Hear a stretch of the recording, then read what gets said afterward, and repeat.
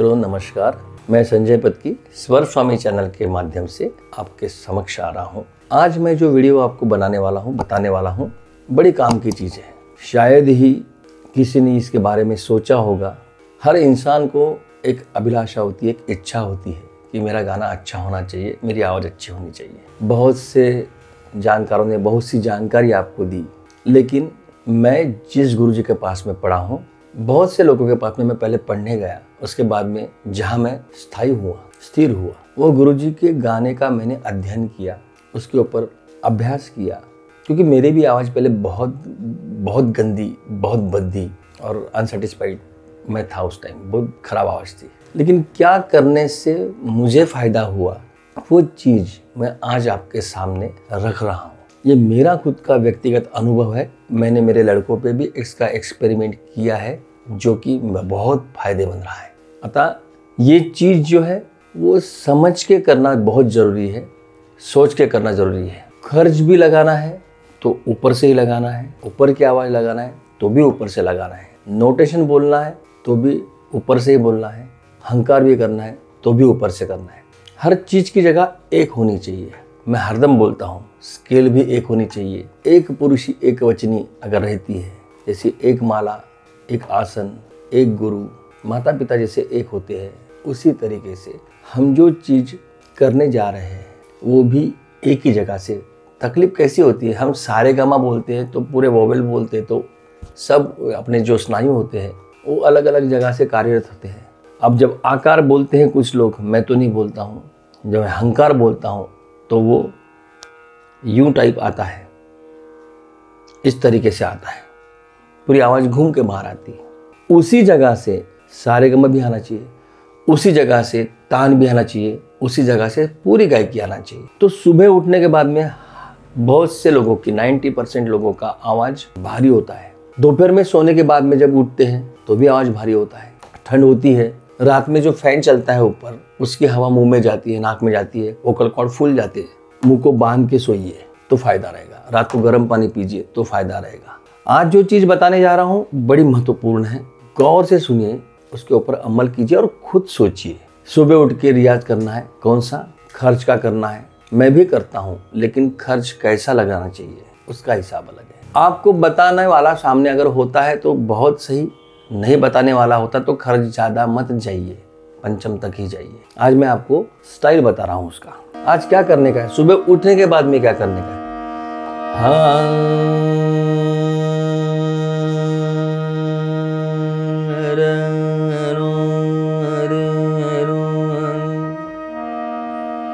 देखो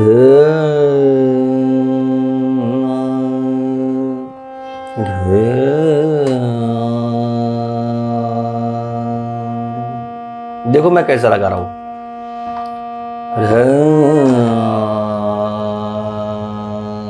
मेरी मुंडी नीचे नहीं जा रही है।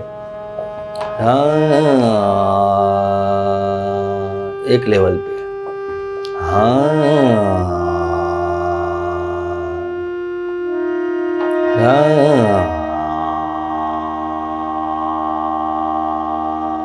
अब इतना जाने की भी ज़रूरत नहीं है। मेरी जा रही इसलिए मैं आपके सामने ले जा रहा हूँ। लेकिन आपको क्या करना है? आपको पंचम मध्यम तक ठीक है। र,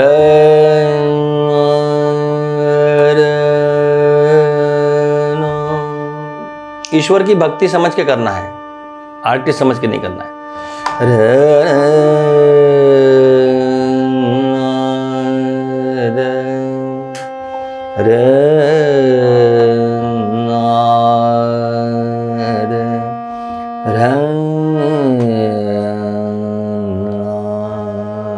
देखिए, आवाज़ कैसे लगी है आ, ये नहीं लगाई है ओ, ये भी नहीं किया है। हाँ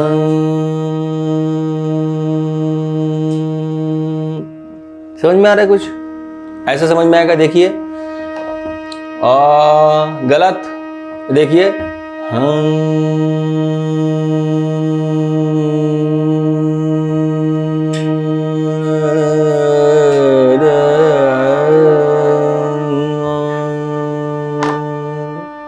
अब ये इतना सरल इजी कोई टेंशन नहीं लेके आवाज़ लगाना है लेकिन आवाज़ ऐसी है हाँ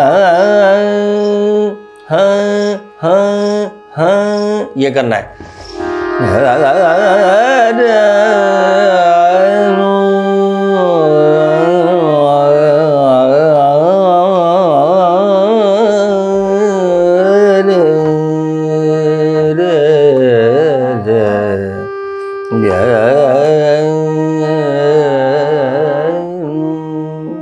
अब इसके लिए क्या करना है? तो आप ये रियाज लिख भी लीजिए।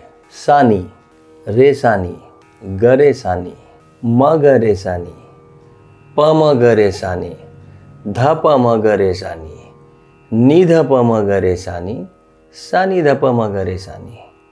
फिर सानी ध, रे सानी ध गरे सानी ध। म रे सानी ध इस तरीके से. फिर नि ध प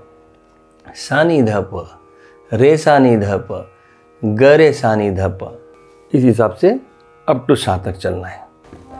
ठीक है? एक एक बताऊँगा मैं. हा हा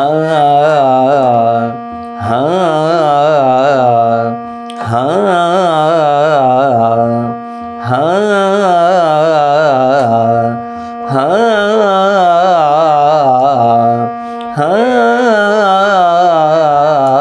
देखिए दहवत के टाइम मैंने क्या किया है?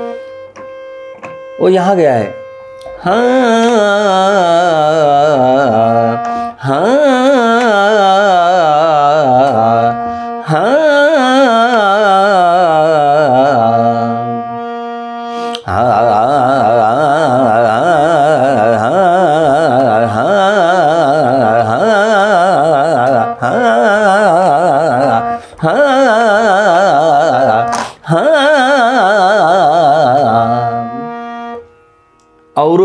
करना है। अब अवरोही रियाज इसलिए करना है कि उतरना सरल होता है, चढ़ना कठिन होता है। देखिए आप किसी पर्वत पे चढ़िए, पहाड़ पे चढ़िए, चढ़ते टाइम थोड़ा अंतर चले कि शुरू हो जाता है और उतरते टाइम आपको ज़्यादा दम नहीं लगता है। तो ये सृष्टि का नियम है। ऊपर से जो भी चीज़ गिरती है, उसको प्रयास नहीं होता है ज़्यादा, लेकिन चढ़ने के लिए प्रयास करना पड़ता है। तो अब इन इंटरनल स्ट्रक्चर अगर देखा जाए हमारे वोकल कॉर्ड का तो वो तो साउंड निकालेगा है। हमको वो साउंड उसका यूँ करके उसको हंकार से यूँ टर्न करना है। गलती कैसी होती है? हम ओंकार कर लेते हैं, ओंकार यहाँ से आ जाता है तो पूरा यहाँ पे स्ट्रेस आता है। कुछ वक्त तो ऐसा होता है कि गाने की इच्छा तक नहीं होती, और हंकार से जब गाना चलता है तो एक एनर्जी लेवल काम करती है, और वो एनर्जी लेवल मिलाने के लिए ये जो उतरने वाला रियाज है, अवरोही रियाज ये आपके काम का है। पहले 10-15 मिनट अवरोही रियाज करना है। सुबह उठ के, जैसे ने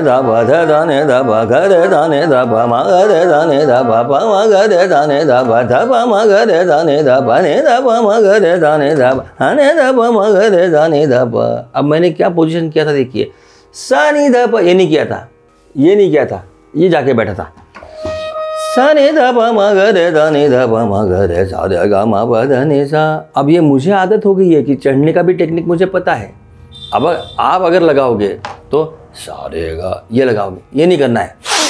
उतर गए। सारे गा मा पा ध ने दा रे गा मा पा ध ने दा रे गा मा पा पा ग रे दा ने दा पा मा ग रे दा ने दा पा मा ग रे सा रे धा गा रे धा मा ग रे धा पा मा ग रे धा धा पा मा ग रे धा नी धा पा मा ग रे सा सा नी धा पा मा ग रे सा सा नी धा पा मा ग रे सा सा रे गा मा पा ध ने धा रे गा मा पा ध ने धा सा सा सा सा सा ग रे धा मा ग रे धा प मा ग रे सा ध प मा ग रे सा दी ध प मा ग रे सा सा नी ध प मा ग रे सा इस हिसाब से आपको ये सब रियाज करना है, अवरोही रियाज, सुबह उठ के आरोही रियाज मत करना है।